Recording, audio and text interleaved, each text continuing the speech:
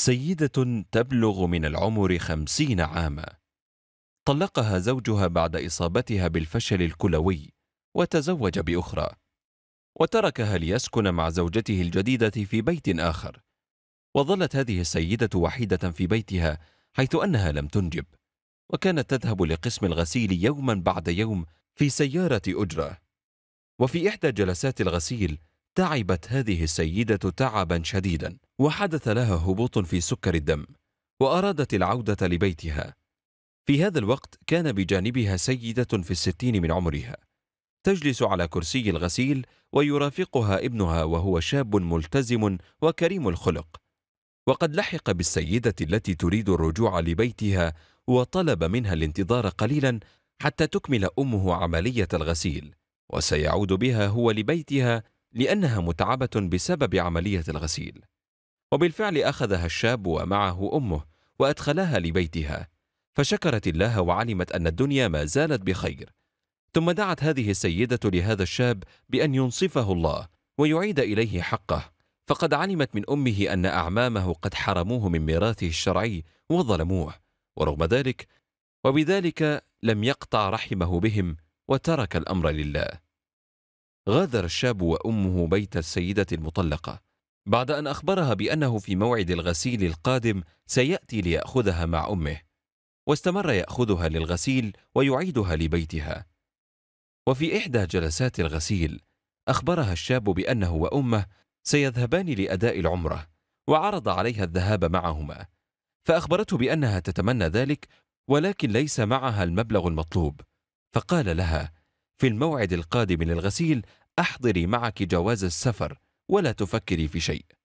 وبالفعل ذهب الشاب وأمه للعمرة وأخذ معهما هذه السيدة. وطوال الرحلة كان يعاملها مثل ما يعامل أمه تماما. وشعرت السيدة معه بالأمومة التي فقدتها. وبعد أداء العمرة رجعوا سالمين بإذن الله وعادت السيدتان معا للغسيل كسابق عهدهما. حتى أتى يوم لم يكن في الحسبان.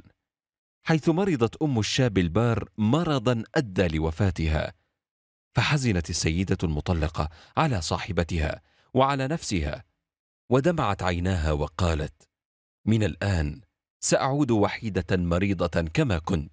في اليوم التالي ذهب الشاب للسيدة المطلقة وأخذها إلى قسم الغسيل فلم تصدق ما رأت وظل الابن البار يأخذها للغسيل ويعيدها لبيتها. وبعد عام من وفاة أمه وفي أحد الأيام وجدته السيدة يدخل عليها بأجهزة كهربائية كثلاجة وبوتجاز وغسالة وغيرها وقال لها في سعادة لقد أعطاني أعمامي كل ميراثي بفضل دعائك لي وسوف أتزوج خلال هذا الشهر وسأكون أنا وزوجتي في خدمتك.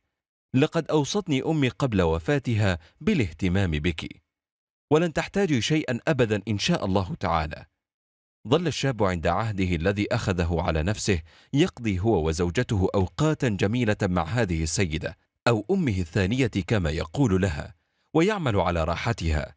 حتى فوجئ في أحد الأيام برجل يدخل بيت السيدة باكيا ويقول لها سامحيني لقد أخطأت في حقك وتركتك في مرضك ومنذ ذلك اليوم وأنا في هم وحزن وفقر ومرض.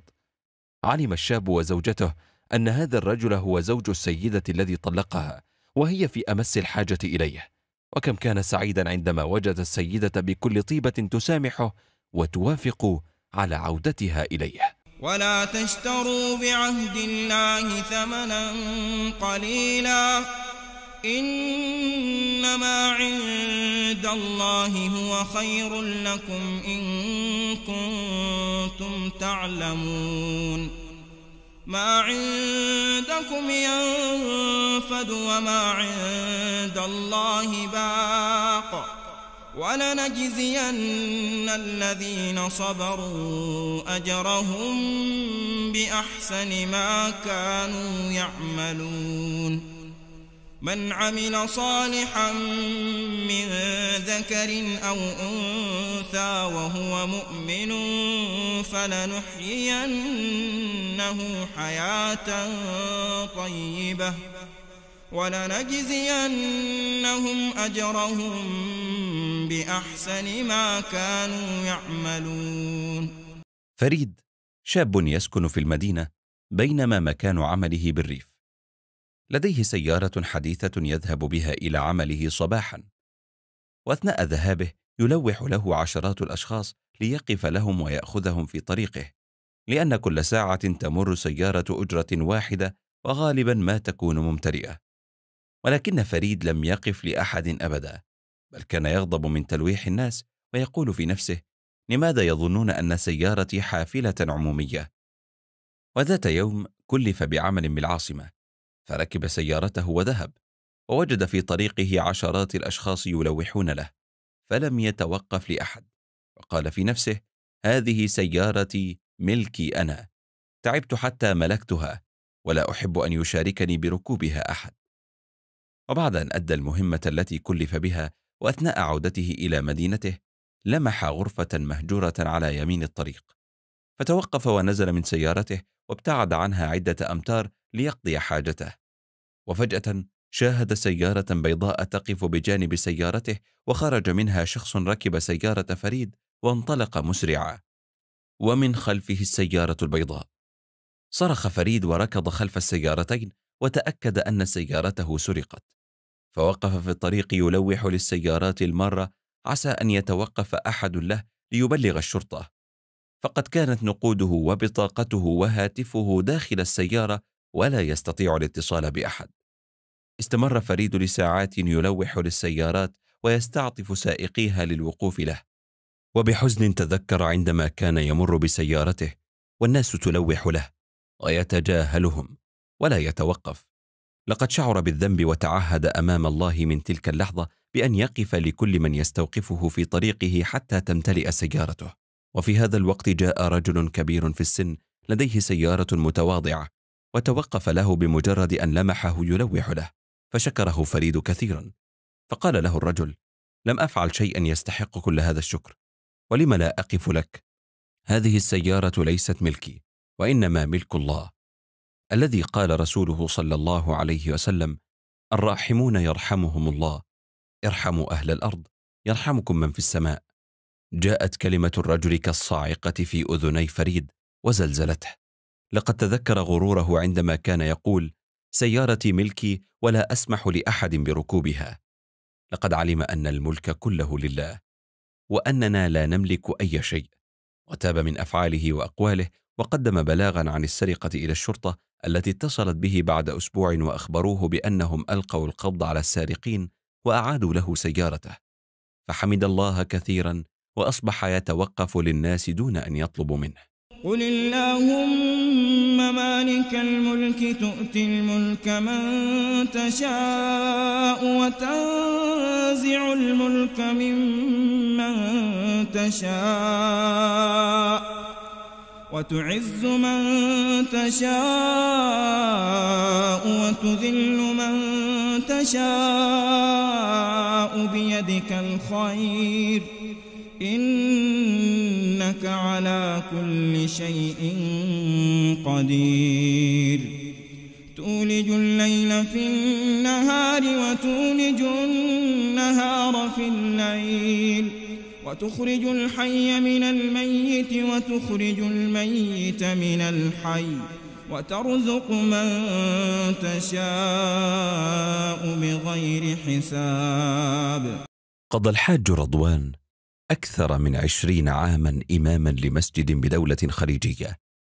ثم عاد إلى قريته المصرية البسيطة فاشترى قطعة أرض ليبني عليها مسجدا لأهل القرية. وبدأ العمال في البناء. وبينما كان رضوان يشاركهم في الإشراف على البناء شعر بالتعب وتلطخ جلبابه ببعض الغبار والدهان. فجلس على الرصيف المقابل للمسجد واضعا رأسه بين يديه ليستريح قليلا. فمرت به سيدة عجوز ووضعت في يده جنيها معدنيا فرفع رأسه مذهولا. فرآها سيدة بالية الثوب فقيرة. فناداها ليخبرها أنه لا يتسول. وسألها ما هذا؟ فقالت له معتذرة لظنها أنه يستقل الجنيه. سامحني يا بني أقسم لك بالله ليس معي غير هذا الجنيه. كنت سأركب به لأعود لبيتي. لم يستطع رضوان الكلام. فنادى على سائقه وأمره أن يصطحب السيدة إلى بيتها ويأتيه بتفاصيل حياتها كاملة. وعند عودة السائق قال له هي أرملة لديها ثلاث بنات تزوجت إحداهن وماتت هي وزوجها في حادث وتركت لها طفلتين فأصبحت الأسرة خمسة أفراد تخرج هي للعمل للإنفاق عليهن. وبينما كان رضوان يفكر في كيفية مساعدة هذه السيدة ماليا إذا باتصال هاتفي من أمير كان يصلي خلفه في الدولة الخليجية وقال له حان وقت إخراجنا زكاة المال أنا وإخوتي فهل في بلدك فقراء تعرفهم؟ دارت رأس رضوان من هول المفاجأة. ثم قص على الأمير قصة الأرملة صاحبة الجنيه. فقال له الأمير اشتري قطعة أرض كبيرة وابن لها ولبناتها وحفيدتها بيتا كبيرا وضع لها رصيدا في البنك تنفق منه طوال عمرها وتزوج ابنتيها وحفيدتيها.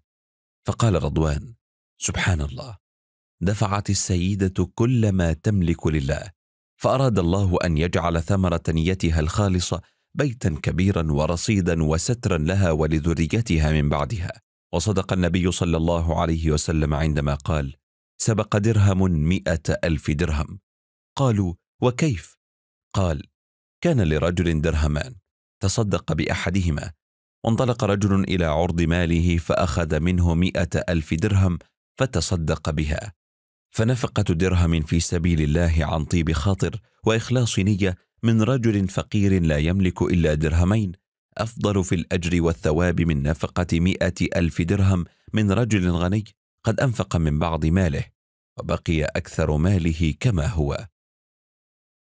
مثل الذين ينفقون أموالهم في سبيل الله كمثل حبة أنبتت سبع سنابل في كل سنبلة مئة حبة والله يضاعف لمن يشاء